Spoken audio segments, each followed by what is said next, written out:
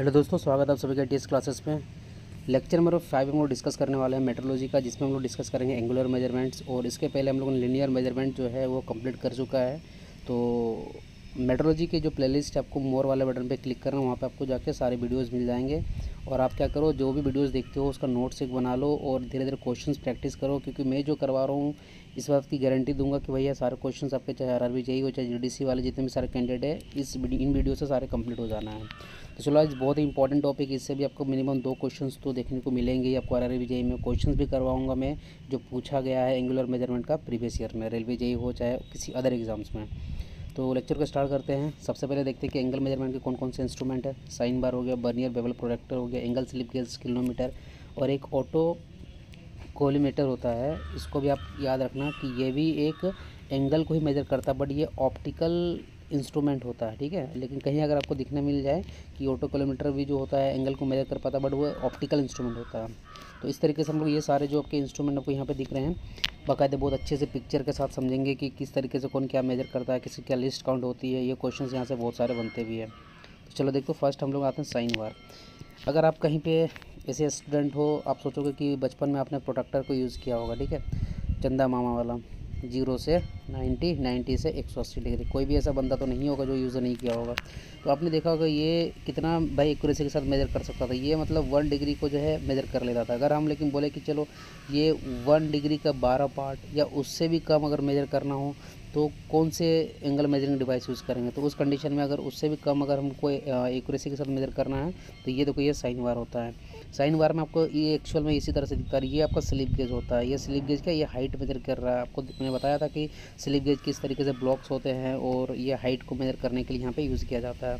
तो ये हाइट आप स्लिप गेज की हेल्प से मेजर कर लेते हो और ये जो आपका साइन वार होता है मार्केट में अलग अलग तरह के साइन वार जो पाए जाते हैं, ये जो आपको दो रोलर दिख रहा है ना, इन दो, दोनों रोलर के सेंटर के बीच का जो डिस्टेंस होता है, उसी के हिसाब से रोलर में मतलब आपकी साइन वार मिलती है। जैसे सपोज़ हंड्रेड एम हो गया, चाहे हंड्रेड एम हो गया दो सौ एम हो गया। तो ये जो सेंटर क्वेश्चन ये पूछा जाता है ऑब्जेक्टिव में आए हुए हैं, कि बताओ कि जो आपका साइन वार होता है, उसको कैसे स्पेसिफाई करते हैं हम लोग? तो the centre distance between two roller ठीक है? ये इसी से स्पेसिफाई इसी इसी से मार्केट में मिलता है कि भाई ये कितना लेंथ का साइन वार है। ये दोनों के बीच हंड्रेड एम एम है कि टू हंड्रेड एम एम है? तो ये लेंथ आपको ऑलरेडी पता हुआ रहेगा। और ये जो लेंथ रहती है, आप स्लिप गेज के हेल्प से निकाल लेते हो, ठीक है?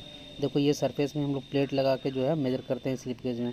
तो उसके बाद आप क्या करते हैं फिर हम लोग, ये हाइट अगर आपको पता चल गया, ये आपको, ये परपेंडिकुलर हाइट पता चल गया, ये हाइपोटेनस अगर आपको पता चल गया तो ये एंगल नहीं निकाल सकते क्या? निकाल सकते बट यहाँ पर एक चीज़ है जो आपको ध्यान रखना है बड़ा अच्छे से, कि देखो ये अब यहाँ पर ये जो आपको यहाँ पर दिख रहा होगा ये आपको नहीं लगता कि ये सेंटर से नीचे ये रेडियस आ रहा है? मतलब अगर आप स्लीप गेज अगर आपको कंप्लीट मान लो टोटल हाइट अगर एच कैलकुलेट दे के दे रहा है, दे रहा है बट आप एंगल मेजर करने में आप कौन सी हाइट यूज़ कर रहे हो? ये वाली हाइट कर रहे हो। तो उस टाइम आपको एच माइनस आर करना मत भूलना, नहीं तो बहुत क्वेश्चन आप गलती कर जाते हो। और सिंपल से हम लोग जो साइन थ्रीडा फॉर्मूला पढ़ते हैं परपेंडिकुलर अपन हाइपोटेनस तो भैया परपेंडिकुलर हम लोग हाइट मेजर कर लेते हैं, इसी तरीके से आपका आपके जो स्लिप गेजेस के ब्लॉक्स होते हैं और ये हाइपोटेनिस हाइट तो हमें पता रहता है क्योंकि जो भी साइन बार हम लोग खरीदते हैं तो उसके अकॉर्डिंग वो हाइट वहाँ पे, ये जो आपके हाइपोटेनिस हाइट हमें पता रहता है। तो इस तरीके से यहाँ से एंगल हम लोग मेजर कर लेते हैं। और ये, यहाँ पे देखो ये प्रैक्टिकल एक पर्पस यहाँ पे दिखाया गया हुआ कि एंगल मेज़रमेंट जब करते हैं तो किस तरीके से सेटअप को बनाया जाता है। ये देखो ये वाले जो जॉब है ना, इसका ये वाला एंगल मेजर करना है, ठीक है? ये वाला जो एंगल है ना, ये वाला, इसको ये मेजर करना है। तो देखो यहाँ पे क्या करके पहले इस तरीके से हम लोग जो है साइन बार को लेते हैं, इस तरह पहले हाइट को मेंटेन करते हैं, उसके बाद ये वाला जो है ना, ये डायल इंडिकेटर आपको पता है कि इसकी जो ज़ीरो पॉइंट ज़ीरो वन इसकी लिस्ट काउंट होती है, फिर डायल इंडिकेटर को इसकी इस पॉइंट में सेट करते हैं और इस पॉइंट में सेट करते हैं ज़ीरो नीडल पे, ठीक है? और डायल इंडिकेटर को क्या करते हैं? यहाँ से यहाँ तक रोटेट करते हैं। तो अगर मान लो ये डायल इंडिकेटर ज़ीरो से अगर वो कहीं भी डिफ्लेक्ट नहीं हो रहा तो हम लोग मानते हैं कि हाँ हमारा जो ये हाइट मेजर हुआ है, वो एकदम एक्यूरेट हुआ है, ठीक है? तो उसका इस तरीके से ये आपको हाइट मेजर करके ये आपको लेंथ पता रहेगा, आप यहाँ से इस वर्क पीस का जो है एंगल आराम से निकाल सकते हो। क्लियर हो गया? चलो ठीक है, और देखते हैं इंपॉर्टेंट पॉइंट तो देखो इस तरीके से। ये जो वर्क पीस रहता है, उसका हमको ये वाला एंगल जो है मेजर करना था यहाँ पे। आप देख सकते हो। तो स्लिप गेज की इससे मदद मदद से हम लोग कितना कैपिटल एच निकाल लेंगे। आपको याद रखना, ये जो नीचे वाला जो आपका स्मॉल एट रेडियस आर दिख रहा होगा तो एंगल के कैलकुलेशन में एच माइनस आर करना कभी मत भूलना, ठीक है? ये टोटल हाइट आपका एच हो गया और ये जो सेंटर डिस्टेंस होते हैं, ये आपको हर एक साइन वार की पता ही रहता है। तो इस वर्क पीस का अगर हमको लेंथ ये वाला एंगल निकालना था तो ये भी थ्री डर आ जाएगा। उसके बाद जो डायल इंडिकेटर से मैंने क्या बोला कि इसको यहाँ से पूरा इस तरीके से डायल इंडिकेटर को लीनियरली मूव करते हैं देखते हैं कि डायल इंडिकेटर में जो डिफ्लेक्शन होना चाहिए ज़ीरो होना चाहिए। तो उससे हमको समझ में ये आ जाएगा कि जो स्लिप गेज की हेल्प से हम लोग हाइट को मेजर कर रहे हैं तो वो मेरा करेक्ट मेज़रमेंट हो गया है, ठीक है? उसके बाद फिर यहाँ से क्या करना? Sine theta is equal to perpendicular height और आपका हाइपोटेनस को रख देंगे तो ये इस फॉर्मूले से निकल के आ जाएगा आपका एंगल चलो और कुछ इंपॉर्टेंट पॉइंट्स यहाँ पर बात करते हैं जिससे क्वेश्चन पूछे जाते हैं. तो when when a reference for a non square angle is required a sine sine work in use sine work नहीं होगा, यहाँ पे ये टाइपिंग थोड़ा मेरा मिस्टेक है भैया. साइन वार जो होता है इजी नॉन स्क्वायर एंगल का मतलब क्या हो गया? स्क्वायर एंगल का मतलब जो भैया 90 डिग्री हो गया। भाई 90 डिग्री से कम मतलब अगर आपको 45 डिग्री से कम अगर आपको एंगल मेजर करना है तो हम लोग साइन बार मेजर कर सकता है। मतलब अगर 45 बार से अगर 45 डिग्री से अगर आपका ज़्यादा एंगल मेजर कर रहे हो तो साइन बार यूज़ नहीं कर सकता है। ये क्वेश्चन आर आर बी में पूछा है कि बताओ कि जो आपका साइन बार होता है, कितना एंगल तक वो मेजर कर सकता था आपका आंसर क्या होना चाहिए? फोर्टी फाइव डिग्री उसका देखो बेसिकली जो साइन बार होता है एक नॉन लेंथ मैंने बताया था ना कि जो दो रो, रोलर रहते हैं ना उसके सेंटर का जो डिस्टेंस होता है वो आपको पता हुआ रहता है। ये आपको याद रखना है। वेन गेज ब्लॉक्स होता है हम लोग जिस तरीके से रखते हैं placed under one end the sine bar जो होता है will till to a specific angle जब यहाँ पे हम लोगों ने इस तरीके से जब रखा था यहाँ पे गेज ब्लॉक्स में देखा था ये जो साइन बार है कुछ इस एंगल में यहाँ पे मुड़ गया था। उसका तो हाइट डिफरेंशियल हम लोग को निकालना है, क्योंकि पता है कि टोटल अगर हाइट एच है तो उसमें से हम लोग क्या माइनस कर देना? जो आपका रेडियस था, आपका यहाँ का रोलर वाला, ठीक है? क्योंकि ये रोड ये जो स्मॉल आर है, ये मेरा काम में नहीं आ रहा है। ये जो सरफेस से आर आपका रेडियस बन रहा है। तो एच माइनस आर करके हम लोग डिफरेंशियल लेते हैं हाइट का, और टू रोलर के बीच का डिस्टेंस पता रहता है साइन फॉर्मूला लगाते हैं और इजीली से हम लोग थ्री एंगल निकाल लेते हैं। पूछा जाए कि बताओ साइन वार जो होता है, वो कैसे स्पेसिफाई किया जाता है? तो साइन वार को स्पेसिफाई करते हैं distance between the centre of the two roller ये हंड्रेड एम का आता है टू हंड्रेड एम का आता है थ्री हंड्रेड एम का भी आता है. उसके बाद जो वेरियस पार्ट होते हैं साइन वार को ना, उसको हार्डेंड किया जाता है. ये आपका हीट ट्रीटमेंट प्रोसेस होता है बिफोर ग्राइंडिंग एंड लेपिंग अगर पूछा जाएगा लिस्ट काउंट कितना होता है साइन वार का तो आप बोलोगे कि उसका लिस्ट काउंट होता है वन मिनट क्लियर है? तो इसका डिसएडवांटेज यही है कि ये 45 डिग्री से ज़्यादा जो है मेजर नहीं कर सकता वेरी इंपॉर्टेंट और मिस अलाइनमेंट और वर्क पीस अगर वर्क पीस को अगर आप मान लो अच्छे से अगर उसका अलाइनमेंट नहीं करोगे तो भाई ये आपको मेज़रमेंट अच्छा से करके नहीं भी दे सकता है। तो आपको वो चीज़ वहाँ पर ध्यान रखना है। चलो ये साइन बार आपको सारा चीज़ यहाँ पर क्लियर हो गया होगा। चलो, साइन बार का क्वेश्चन सबको लगाता हूँ मैं। क्वेश्चन देखो ये क्या? है इसरो में पूछा गया है कि sine bar a specified Y तो ये साइन बार स्पेसिफाई होता है that it's total length the size of the rollers the centre distance between two rollers the distance between rollers and upper surface अगर लेक्चर अच्छा से सुना होगा तो भाई आँख बंद करके कोई भी बंदा the centre distance between two rollers को टिक मार देगा। उसका देखो the height in M M for one twenty M M sine bar मतलब ये इसने बता दिया कि जो दो रोलर के सेंटर का डिस्टेंस है, ये साइन वार कितने का है? One twenty five M M का है, ठीक है? टू बी मेजर और टेपर इतना टेपर ये मेजर कर रहा है और on a on a flat work piece तो भाई हमें निकालना क्या? हाइट निकालना है, ठीक है? तो ये हाइट हमको निकालना है, ये हमको पता है, ये कितना है और एक टेपर जो एंगल है वो भी हमें पता है, सत्ताईस डिग्री बत्तीस मिनट है। बट अगर हम लोग sine theta is equal to यहाँ पे परपेंडिकुलर हाइट अपन हाइपोटेनस रखा था। Hypotenuse one twenty five M M लेकिन यहाँ पे देखो ये सत्ताईस डिग्री बत्तीस मिनट है तो हमेशा याद रखना कि जो मेज़रमेंट के टर्म में जो वन डिग्री जो होता है, ये सिक्सटी मिनट के बराबर होता है। मतलब यहाँ पे वन डिग्री को सात भाग में मतलब आप बोलते तो सिक्सटी मिनट यहाँ पे बोलते हैं तो मिनट का ये नोटेशन हो गया। तो अब सात, पहले सत्ताईस डिग्री है ना तो सत्ताईस डिग्री को आप क्या करो प्लस कंप्लीट में इसको मिनट को भी कंप्लीट कर दो किसमें? आप चेंज कर दो। डिग्री में कर, चेंज करना है। तो भाई sixty degree one degree equal to कितना होता? है सिक्सटी मिनट। तो आप यहाँ पे बोल सकते हो one minute is equal to one by sixty degree. तो थर्टी टू मिनट क्या होगा? तो भाई थर्टी टू अपॉन सिक्सटी। ठीक है? तो इसको यहाँ पे इस तरीके से करोगे तो पूरा डिग्री में आ जाएगा। जो भी डिग्री यहाँ पर आपको आएगा, साइन थीटा थीटा में यहाँ पर रखना है। परपेंडिकुलर हाइट आपको निकालना हाइपोटेनस 125 दिया हुआ है। तो देखना इसको सॉल्व करना 57 पॉइंट समथिंग अप्रोक्स इसका आंसर यहाँ पे मिलने वाला है। ये क्वेश्चन गेट का पूछा हुआ है, ठीक है? तो ये कंसेप्ट आपको आना चाहिए। मे भी आर आर ये भी फ्यूचर में पूछ सकती है। फिर तो ये भी आर बी के क्वेश्चन से पूछा गया कि the sine bar should not be use for angle greater than तो आपको मैंने बताया था कि फोर्टी फाइव डिग्री से ज़्यादा एंगल को मेजर ही नहीं करवाता। है ये क्वेश्चन देखो the determine the elevation for thirty degree elevation का मतलब ये वाली बात कर रहा है, ठीक है? Using five inch sine bar तो आपको यहाँ पे जो इंच मैंने बताया क्या? कि जो इम्पेरियल यूनिट होते हैं इम्पेरियल यूनिट जैसे कि यूएसए वगैरह में होता है, फुट हो गया पाउंड हो गया, या तो इंच वहाँ पे यूनिट चलती है। हमारे कंट्री में मेट्रिक यूनिट चलता है। मेट्रिक यूनिट का मतलब क्या होता है भैया? जैसे मीटर हो गया के हो गया मिलीमीटर हो गया तो ये सब सारे हमारे कंट्री में चलते हैं। तो हमें भैया ये फाइव इंच तो दे के रखा है, ये जो दो रोलर के सेंटर के बीच का डिस्टेंस होते हैं। और एंगल भी दे दिया तो बताया भाई, ये एलिवेशन निकल के होता तो सिंपल से यहाँ पर फॉर्मूला लगाना, ज़्यादा दिमाग नहीं लगाना। Sine theta is equal to P व एच तो पी यहाँ परपेंडिकुलर हाइट कितना? फाइव इंच हो गया हो गया आपका। सॉरी हमको ये, यही तो निकालना है। ये आपका जो दो रोलर के बीच में हाइपोटेनस कितना हो गया? फाइव इंच हो गया। फाइव इंच में ये रखना, क्योंकि सारे इंच में यहाँ पे दिया हुआ है। और थीटा थर्टी डिग्री रखना। साइन थीटा इक्वल कितना हो जाएगा आपका? Sine thirty degree is equal to आपका हो जाएगा वन बाई टू ठीक है sine thirty is equal to हो जाएगा आपका वन बाई टू और ये पी अपॉन एच फाइव तो पी को जब सॉल्व करोगे तो ये आपका टू पॉइंट फाइव इंच निकल कर आ जाएगा। तो ये आपके जे में भी इस तरह से क्वेश्चंस पूछे गए हैं। नेक्स्ट बहुत इंपॉर्टेंट आपको एक मिलेगा बर्नियर बेवल प्रोटेक्टर ये क्या होता है? ये भी एंगल को मेजर करता है, लेकिन ये कितने एक्यूरेसी के साथ मेजर करता है? मतलब अगर कोई एक वन डिग्री है, ठीक है? तो मैंने क्या बोला कि वन डिग्री को बारह पार्ट में बांट दो। तो ये एक डिग्री का बारहवा भाग को भी मतलब मेजर कर सकता है। समझ रहे हो? मतलब कोई अगर एक डिग्री है, उसको बारह पार्ट में बांट देंगे तो उस पार्ट को भी ये मेजर करके ले जाएगा। इसलिए जो इसको बोला जाता है, इसकी जो लिस्ट काउंट होती है फाइव मिनट होती है। कैसे होती है, अभी हम लोग समझेंगे, टेंशन नहीं लेना, ठीक है? और देखो इसके कुछ पार्ट्स का नाम देख लो। इस पार्ट को स्टॉक बोलते हैं। ये एक ब्लेड रहता है। यहाँ पे एक एंगल लॉकिंग स्क्रू रहता है। ये जो आपको प्लेट दिख रहा है ना, ये प्लेट जो रहता है भैया, ये इस तरीके से, इस ब्लेड को जब नीचे लाओगे ना तो ये यहाँ पे इस तरीके से रोटेट गई ये, फिर यहाँ पे ये ऊपर में इस तरीके से आ जाएगा। क्लियर है? तो ये स्विबल प्लेट हो गया, जो ये वाला रोटेट होता है, ये यहाँ पे, ये यहाँ पे एक मैग्नीफाइंग ग्लास लगा हुआ रहता है। मैग्नीफाइंग का मतलब होता है कोई भी नंबर को ये बड़ा करके दिखाता है। एक तरीके से बोल सकते हो, जिस तरह हम लोग किस तरह से स्पेक्टिकल चश्मा पहनते हैं ना तो उसमें एक पावर वाले तो उसी तरह पावर वाला एक ग्लास लगा हुआ रहता है। क्लियर है?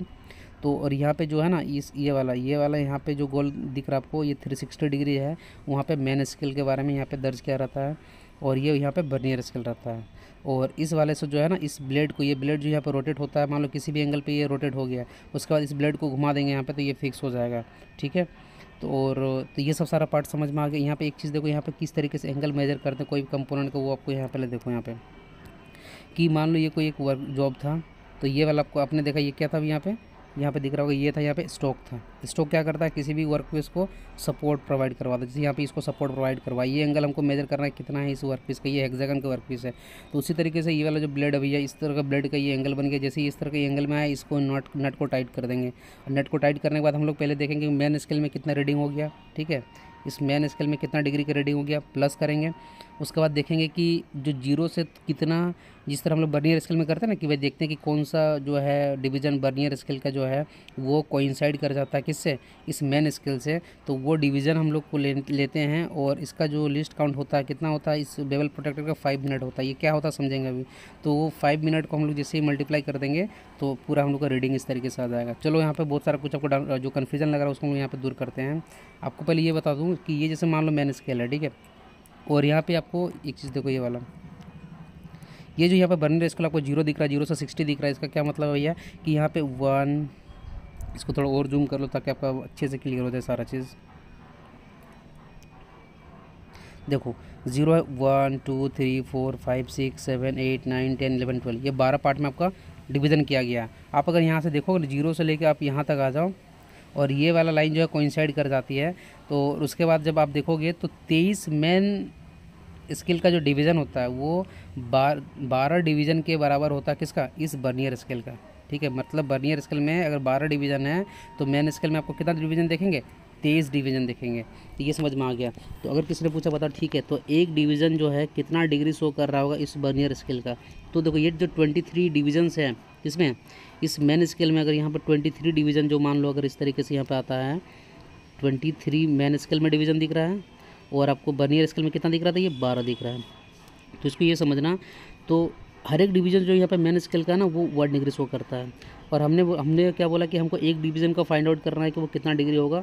तो आपको नहीं लगता कि ट्वेंटी थ्री डिवीज़न जो है main scale is equal to बारह डिवीज़न ऑफ़ बर्नियर स्केल तो वन डिवीज़न जो है, आपका बर्नियर स्केल क्या हो जाएगा? ट्वेंटी थ्री बाई बारह और आपको पता ट्वेंटी थ्री कुछ नहीं, यहाँ पे ट्वेंटी थ्री जो डिवीजन्स होते हैं आपके यहाँ पे मेन स्केल में, वो हर एक डिवीज़न आकर एक डिग्री शो करता है तो ट्वेंटी थ्री डिग्री जो है कितना?